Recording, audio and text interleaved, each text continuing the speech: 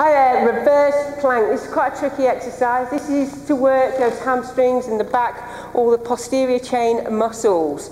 Okay, so for this one, the main version is you're on your elbows, shoulder above elbow, okay, legs out straight, and then you're just lifting up. You won't get far off the ground, you're on your heels, you're squeezing those glutes uh, and hamstrings to hold that position.